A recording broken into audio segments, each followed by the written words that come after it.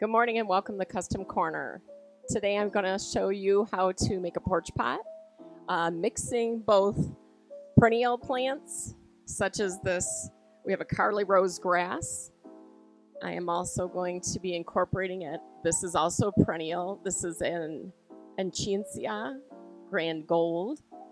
I have a couple coleus. These are going to be my height in the center of my arrangement.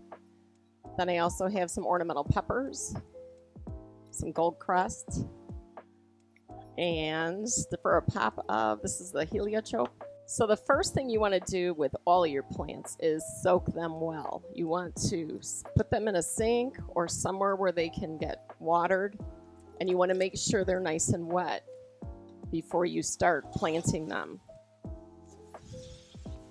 So just give them a little drink and just let them sit for a couple minutes and drain. This way, when you go to finish your watering, it's just going to be a light water in at the very end. So after your plants or while they're draining, you want to put your soil into your pot.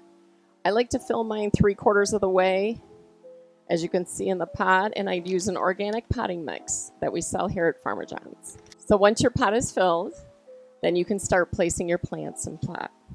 Some of them, like this large grass, this is a perennial, the Karley Rose.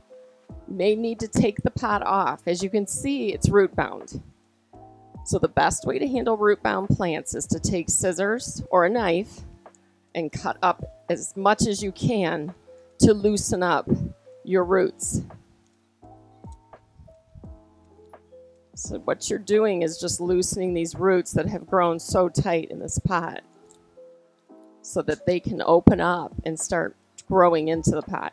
So the first thing you want to do in your pot is place in your height. So I've chosen this grass.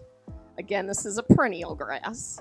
There's all different types of grasses, but I like the look of this one. It's soft, and I'm going for a softer look.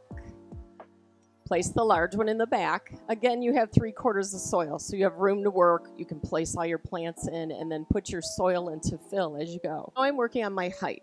So with the height, I want to put in my Grand Gold, is the name of this one. This is also a perennial. And again, you can see lots of roots. This one you want to just leave like that. You don't want to mess with it too much. The roots are already loose. So you just want to plant it in place. I'm going to put it on this side of my arrangement. That's going to give me a nice spot of color right on that right side. Another name for this flower is coneflower. So if you're familiar with coneflower and the perennial grasses, this is a coleus. Coleuses are great for color. They come in many different colors and varieties, and they get tall. Some of them are bushy. This one I'm using is some height and some color in my center here. So I'm going to place this in.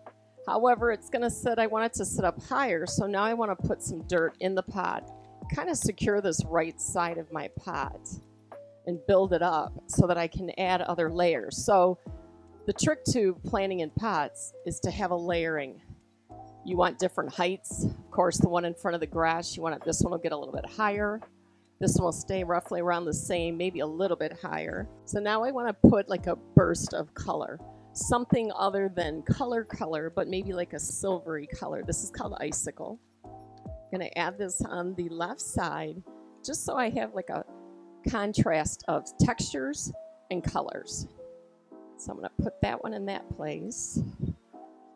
And you're going to kind of fill that dirt in around it to hold it there because, again, we're working in layers. So you want that to hold up on that side of the pot. And just move it in and press it down like that. The next plant I'm going to put in place is a Plectranthus. This is a trailing plant. And you want to have some kind of interest coming down the front of your pot.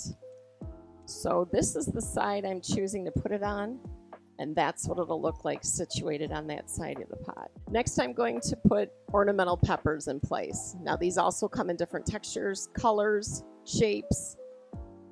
I chose this one with multicolors.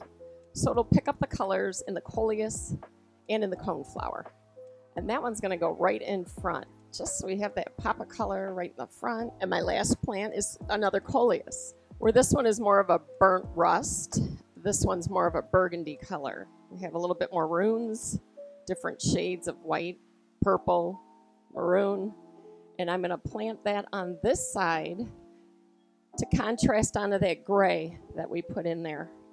And this will get large. This will fill in this whole area here. This will spread out also.